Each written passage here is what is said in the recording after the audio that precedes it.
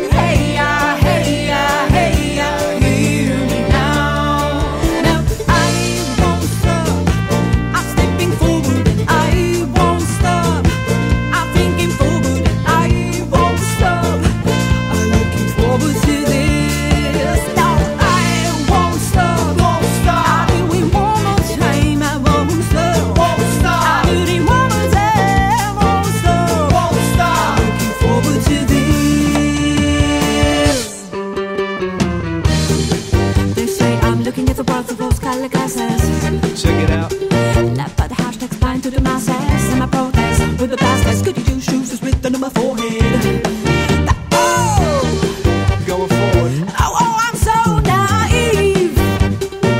I'm being friends with refugees. Humanity I do believe. Oh, oh, oh, oh,